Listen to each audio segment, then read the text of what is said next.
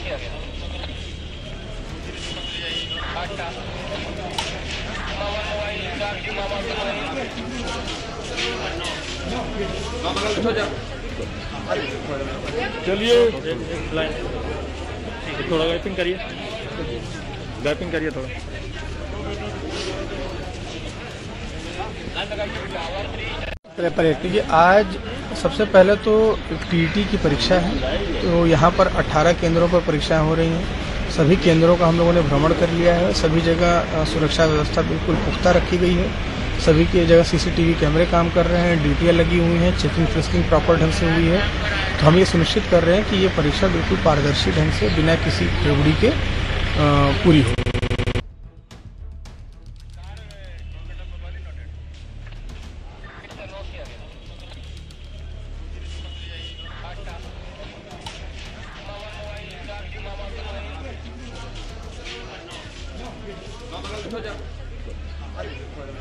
चलिए।